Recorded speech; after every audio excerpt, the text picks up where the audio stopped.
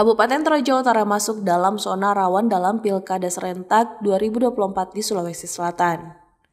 Mencegah terjadinya hal yang tidak diinginkan, Kodim 1414 Tanah Toraja menggelar pasukan pengamanan Pilkada Serentak di Makodim 1414 Tanah Toraja, Kota Rantepau, Toraja Utara pada Rabu 7 Agustus 2024. Kodim 1414 Tanah Toraja membawahi Kabupaten Tanah Toraja dan Toraja Utara.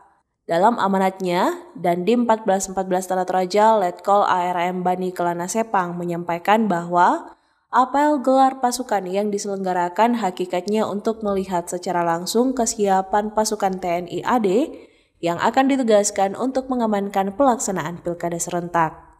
Laksanakan tugas pengamanan sesuai prosedur yang berlaku, selalu monitoring terhadap perkembangan situasi secara terus-menerus, baik sebelum, selama maupun setelah pelaksanaan pilkada, ucapnya.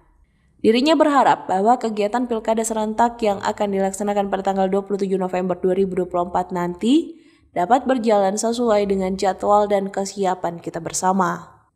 Sesuai data yang saya pegang bahwa benar salah satu kabupaten yang rawan itu adalah Toraja Utara. Apalagi berbicara pesta demokrasi seperti pilkada ini, tuturnya melalui rilis.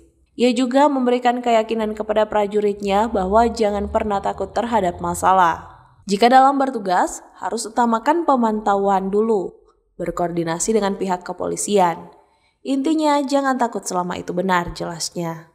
Setelah melaksanakan apel persiapan, Dandim juga melaksanakan pemeriksaan kendaraan baik roda 4 maupun roda 2.